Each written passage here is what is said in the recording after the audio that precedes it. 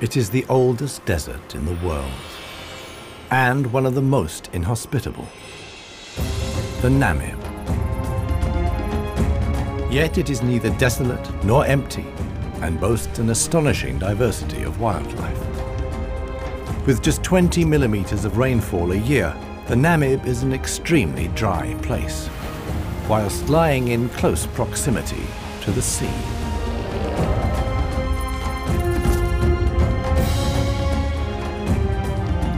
It is unique in being home to elephants.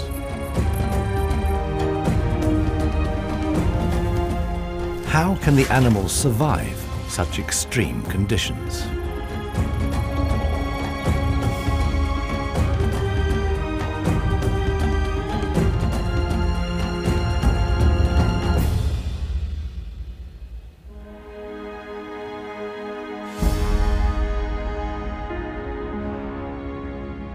Namibia lies in southwest Africa.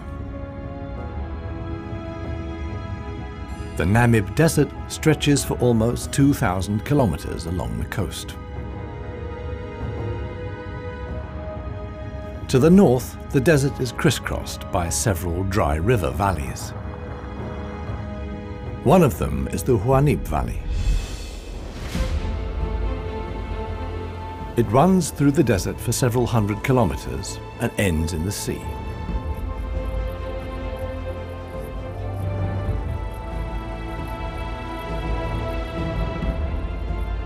Water flows here once, at most twice a year. Only deep-rooted plants like ana trees can survive here. Dry river valleys like the Huanib are only found in the Namib Desert. Only here, within the valley, can mammals exist in the long term. It is the home of the desert elephants.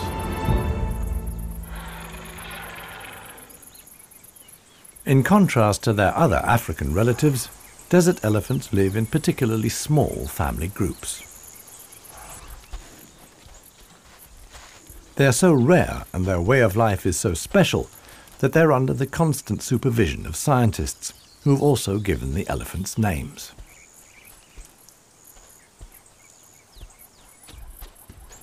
The head of this family is alpha cow Clarissa.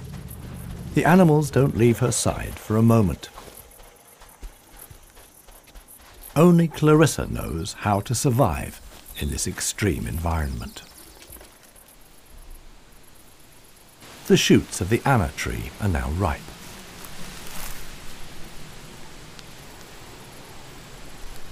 The pods contain protein-rich seeds.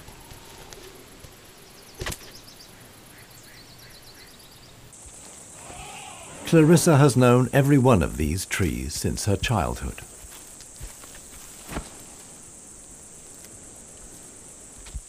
Even the youngest, Maya, tries the shoots. Here, however, experienced trunk tip control is required. It's easier for her to get the protein she needs from her mother's milk. Desert elephants only have half the number of calves as other elephants because they suckle them twice as long to give them a stronger start to life.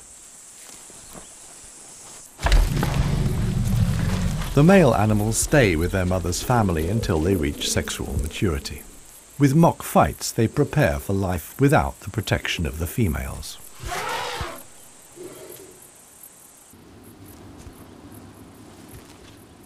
Outside the mating season, adult bull elephants are loners or travel in small groups.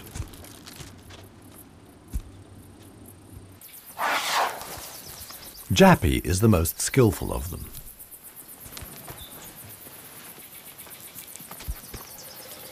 His younger brother watches enviously as Jappy brings down apparently unreachable branches from the tree.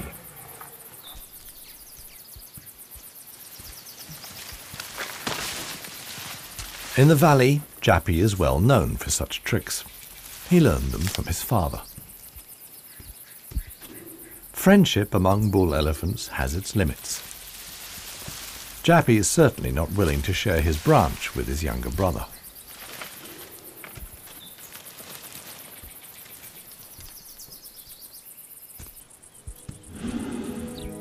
Their father, One Tusk, is now nearly 60 years old. His trademark is the missing right tusk, lost long ago in a hierarchical battle. For years, he was the undisputed king of the Huanib. Now he lives in seclusion.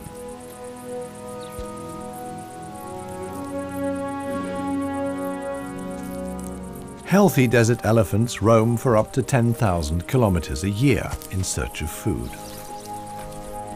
One tusk's legs are weak. He can no longer keep up.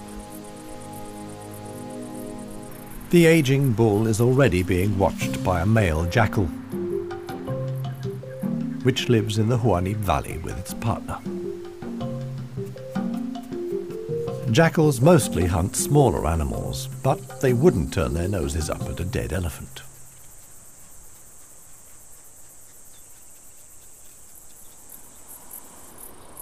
In a side valley, Clarissa has discovered a further source of food. There's a wide selection of bushes, grasses and herbs. Desert elephants treat their food much more gently than other elephants. Instead of tearing the plants out of the ground and destroying them in the process, they carefully harvest just the shoots. In this way, the plants can continue to grow. The elephant's climbing skills far surpass those of their savanna-dwelling relatives. This too is a form of adaptation to their special habitat.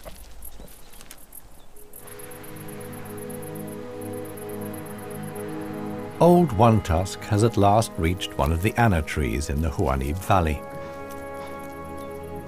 But Clarissa and co haven't left very much for him to eat. He desperately searches for something edible in the remnants. In vain.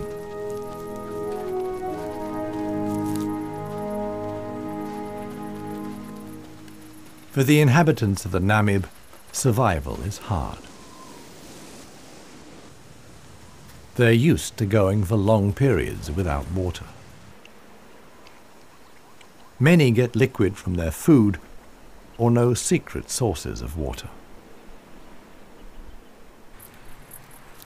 Regardless of size, every green leaf contains a minimum of liquid worth harvesting.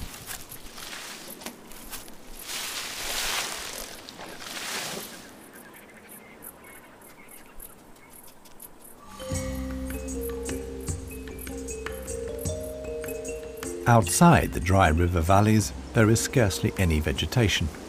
Here, only extreme specialists survive. The Namib desert beetle is no bigger than a fingernail. As all animals, it depends on water for survival and has developed a special strategy.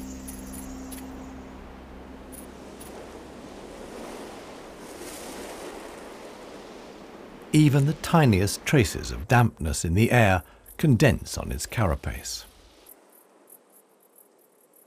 In time, a drop forms which then flows directly into the beetle's mouth. This way of life limits the distribution of desert beetles to those parts of the desert that see fog. But where does the fog come from?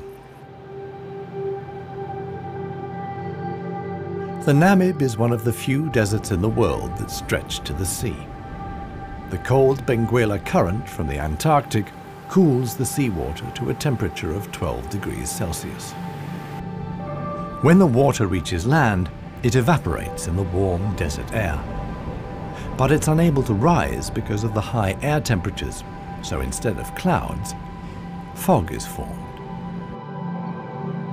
Around 200 days a year, the desert is wreathed in mist, which sometimes extends hundreds of kilometers inland into the dry river valleys.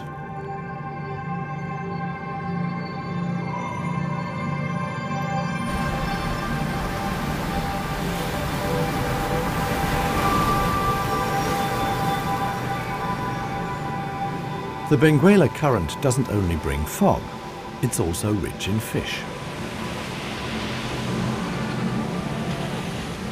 The animals that benefit most are the brown fur seals.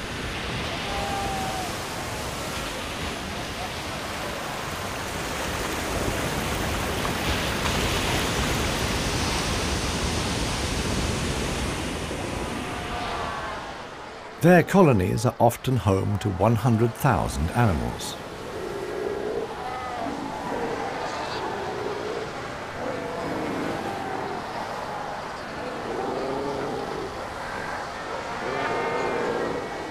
Right now, there's good reason for so many seals to congregate here.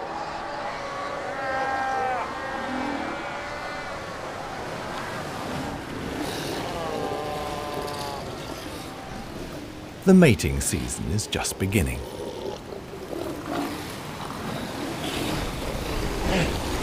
Everywhere, bulls are fighting for the right to mate.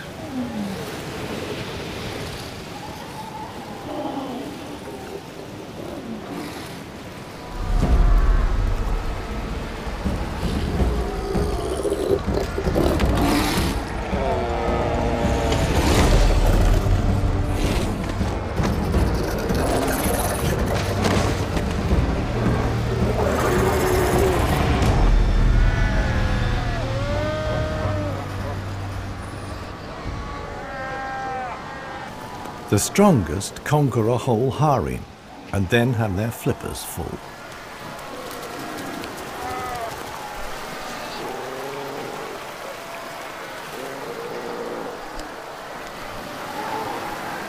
After mating, the males disappear into the sea. They're not involved in bringing up the young. The Namib coast is a paradise for seals and seabirds. The Benguela Current has enough food for them all.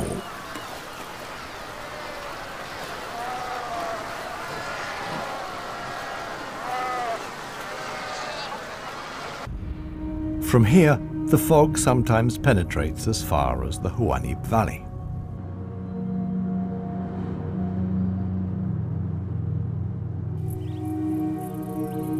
Now, even the biggest animals benefit from the moisture contained in the fog.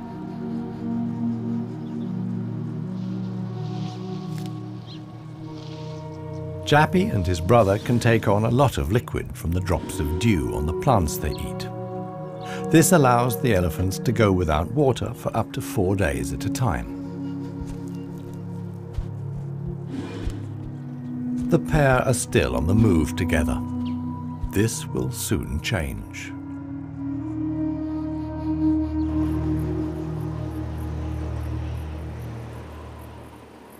As the fog lifts, the sun illuminates a very special event.